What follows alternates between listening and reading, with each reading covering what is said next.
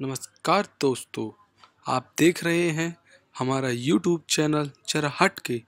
आज मैं आपके लिए एक और बहुत बढ़िया टॉपिक लेकर आया हूँ। महिलाएँ क्यों लगाती हैं? माथे के बीच में बिंदी? जानिए रहस्य।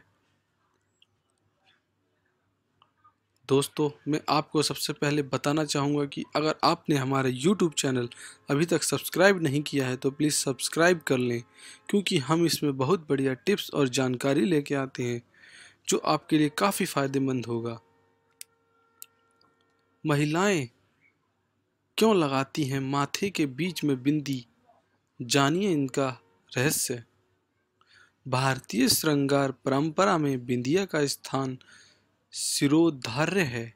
सोलह श्रृंगारों में से एक बिंदिया, जिसके बिना नारी का रूप अधूरा है।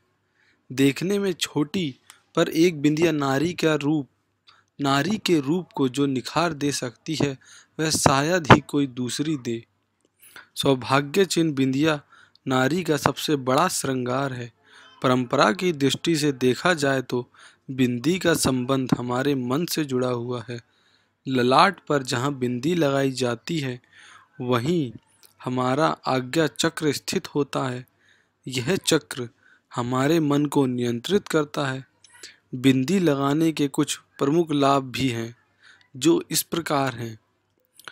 यह स्थान हमारे मन को नियंत्रित करता है, और जब भी मन को एकाग्र किया जाता है तो आज्ञा चक्र पर ही दबाव दिया जाता है। इसी आज्ञा चक्र पर स्त्रियाँ बिंदी लगाती हैं ताकि उनका मन एकाग्र रहे। दूसरा एक्यूप्रेशर के अनुसार माथे के बीचों बीच नसों और रक्त का अभिसरण होता है। बिंदी लगाने से उस जगह दबाव पड़ता है और सिर दर्द में आराम मिलता है। माथे का केंद्र, बिंदु, आपकी आँखों की मांसपेशियों से जुड़ा होता है।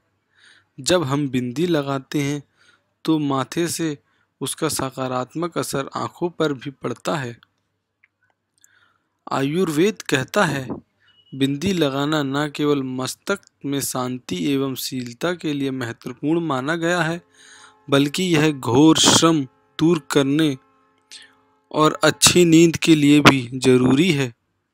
शिरोधरा विधि में भी इस बिंदु पर दबाव बनाकर अनिद्रा की समस्या दूर की जाती है। इसीलिए बिंदी का हमारे शास्त्रों में बहुत महत्व दिया गया है।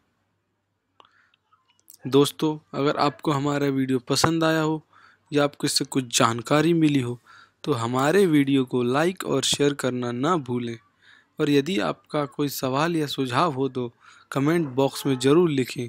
और इसी तरह की बढ़िया और जानकारी युक्त वीडियो देखने के लिए हमारे चैनल को सब्सक्राइब करना ना भूलें और अपने दोस्तों को शेयर करना ना भूलें, क्योंकि उनके पास भी अधिक से अधिक जानकारी पहुँच सके।